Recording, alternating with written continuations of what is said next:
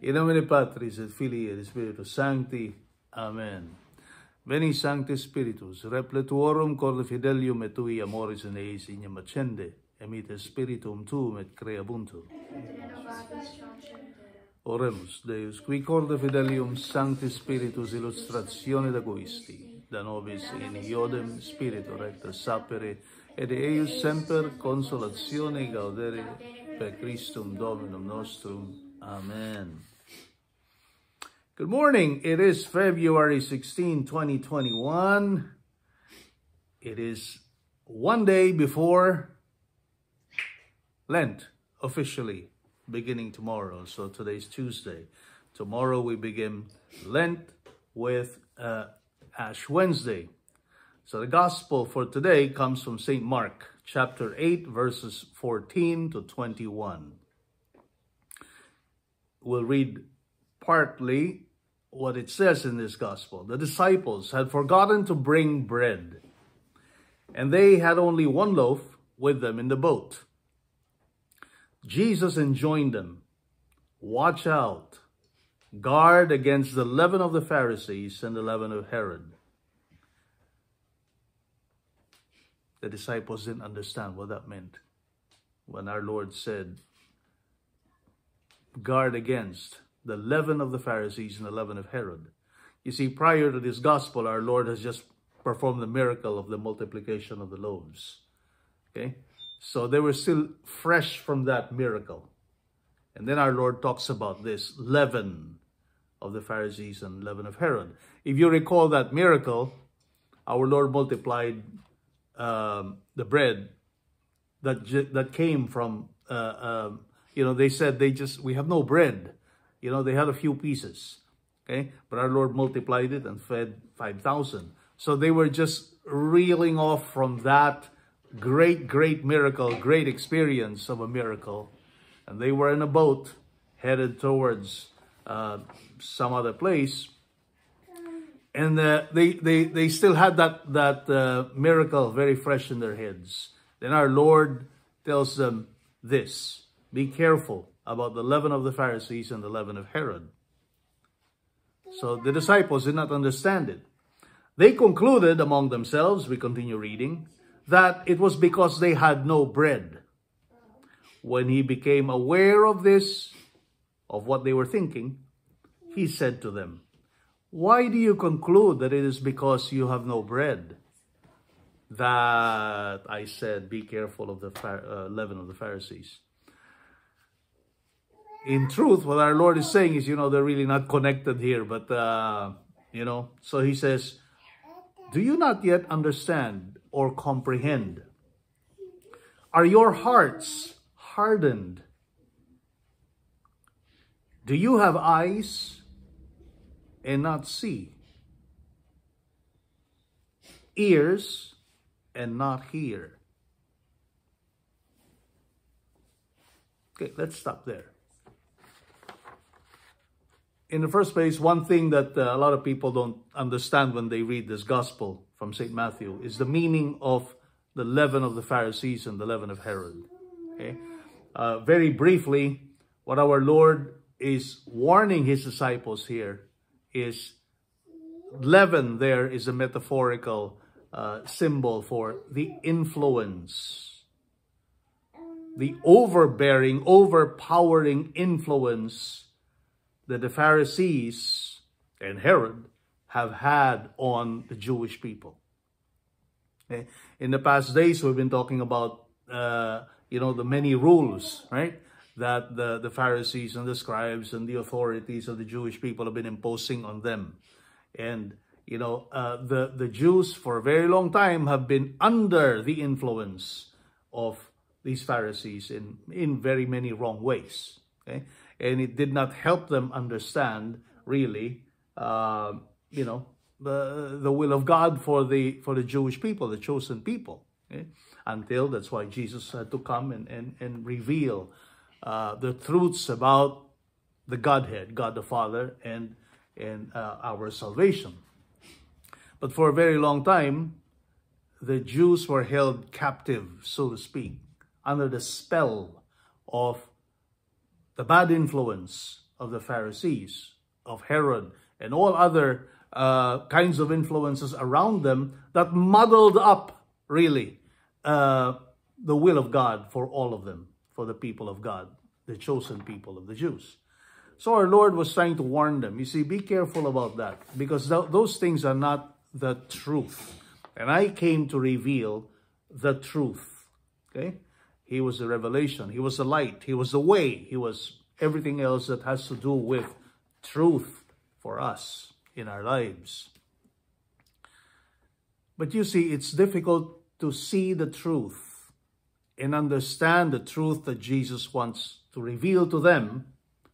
And consequently, to us now, in our present day and age, it is difficult for us to see the truth, to see God, to appreciate the truth when our hearts are cold, hardened, and dead to sin. That is why the question of our Lord here is, are your hearts hardened? See? Are your hearts hardened? So hard, cold and dead to sin. That is why, even if you have eyes, you cannot see. Even if you have ears, you cannot hear. Because in truth, you are like walking zombies. Right? You're actually like walking dead. Because your souls are dead to sin. Because your heart is dead to sin. Because your heart has been numbed, has been insensitive, has been calloused by the piling up of sin that has encrusted your heart like a hard stone. Okay? You know very well from your science uh, studies, like Mia and Chabelle have been studying rocks uh, this past uh, several weeks. And what have you learned from it, right? Uh, what do you call what do you call Mia? Tell me, what do you call the rocks which had a piling up of different materials? that it became what kind of rock? Sedimentary. Sedimentary rock, right? And what is that all about? A sedimentary rock is formed by the piling up of many, many different types of environmental materials from soil, sand, and other things, and it hardens into a sedimentary rock. Right? Now you can apply that imagery to your souls, to your hearts. Heart here Heart here is, a, is another metaphor, is another image for the ability of every man to love. See? Love, which is which is the ability of the will. Okay? And and the ability to love is something that only men created men creatures have, right?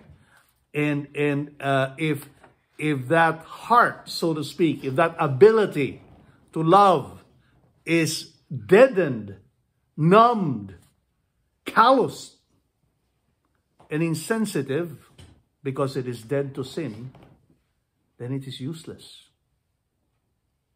It's useless, right? And it's not good.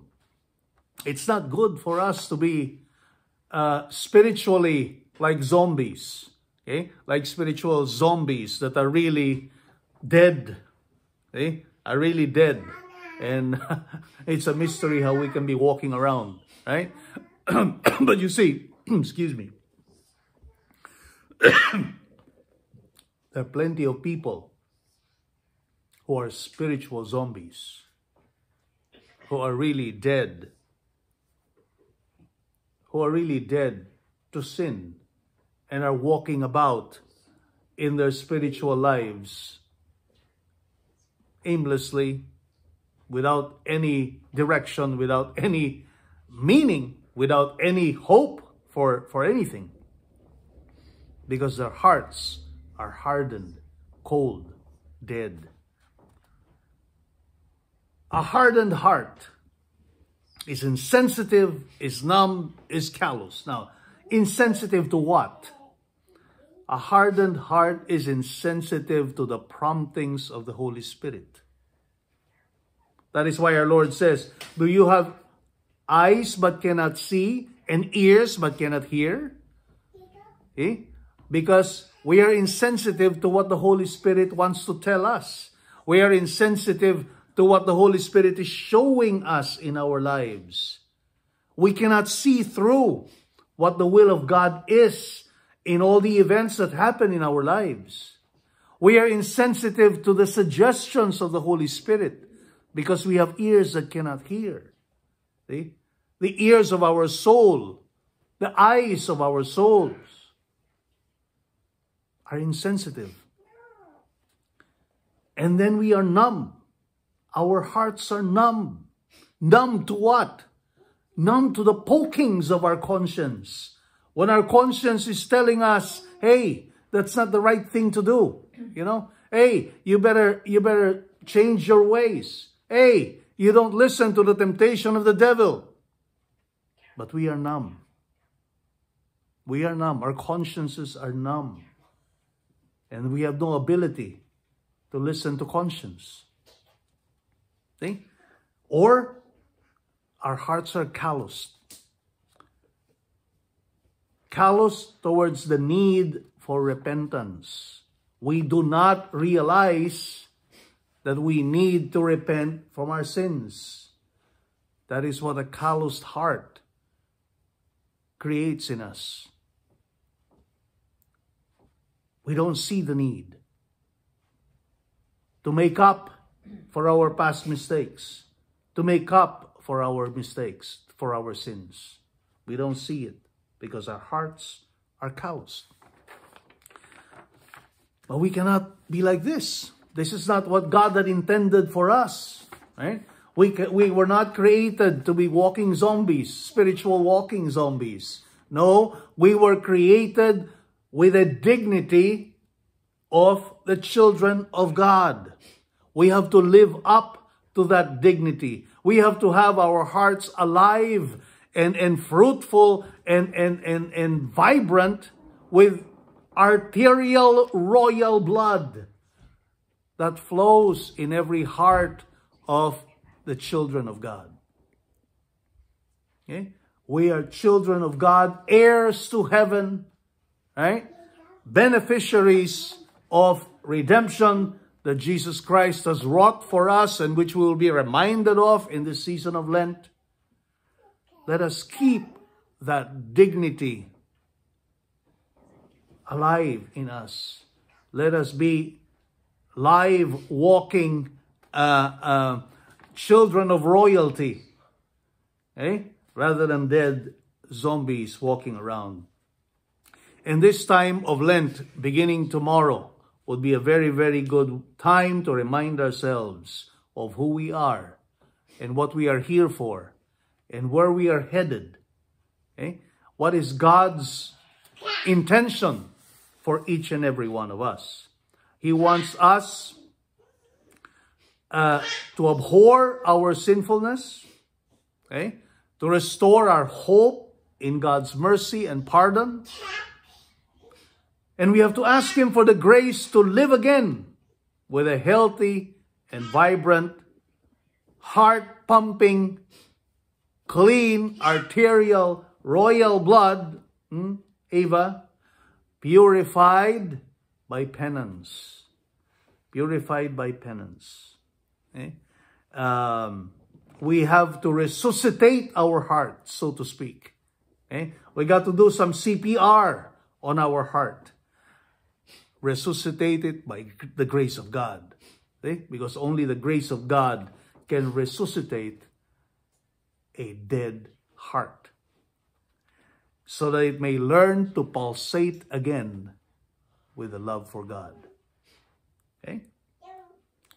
Now, just a few days ago, we were listening again to the message of Fatima. Okay? And what does Our Lady of Fatima tell the little children, the three children of Fatima? What, do, what does the world need? What do each and every one of us need?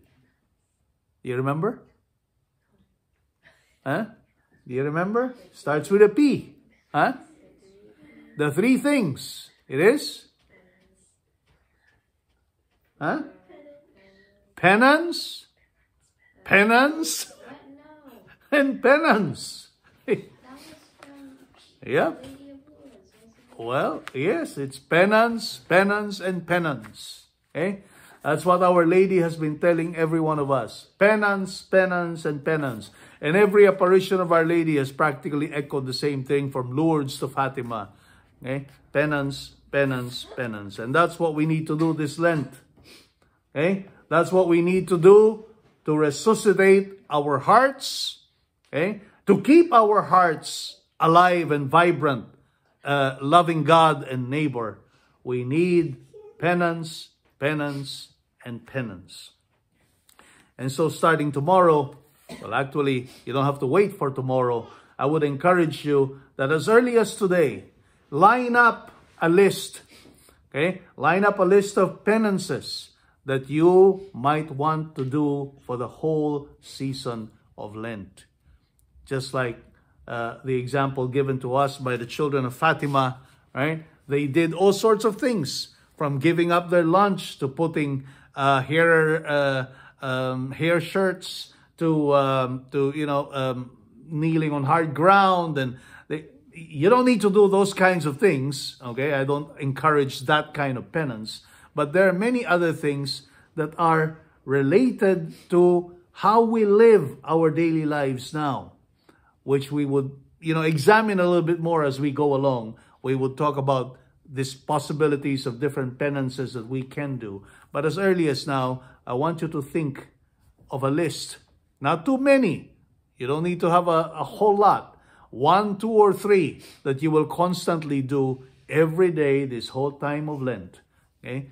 To express penance. Do penance for sin. And by the way, just as a reminder to everybody, starting tomorrow, Lent, and uh, every Friday of Lent, uh, we do, the church recommends that we practice abstinence and um, huh? and fasting, right? So the uh, the rule, as far as the commandment of the church goes, for abstinence, it would be everybody 14 years old and above. Okay, to do to do abstinence from meat. Okay, on Fridays of Lent and uh, on Ash Wednesday, and then um, fasting begins at age 18 to 59. Okay, 18 to 59. Okay, would be uh, fasting. Okay, that's it for us, folks. We hope that you may have a good preparation for Lent. Um, and so tomorrow um, is um, Ash Wednesday, the beginning of Lent already. Okay, uh, excuse me. And um, so we hope that you, you know, everybody, we wish everybody a, a good Lenten yeah. season, a good journey through Lent, and let us all uh, keep a very prayerful and penance-filled uh, season of Lent. Okay? Now, Eva's going to say goodbye. Bye-bye. Okay, bye-bye, everybody. Have a good day. Bye-bye. Bye-bye.